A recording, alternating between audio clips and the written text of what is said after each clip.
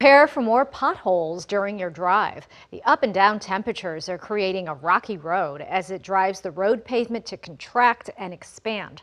Fox 2's Patrick Clark looks at what's giving you a headache and a costly problem.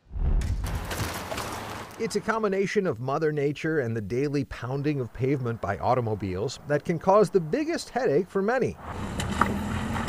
Potholes.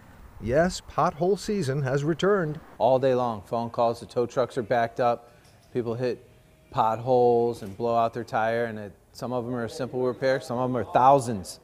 When they keep driving with a blown out tire and it scratches up the whole side of the car. West County auto body owner Rob Terranova is seeing customers with damage done from cracked and crumbling pavement around the region.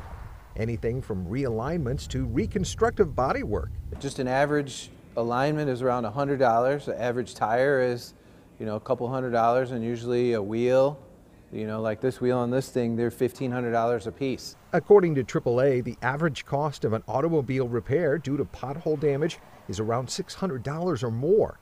In 2021, drivers paid $26.5 billion in related vehicle repairs.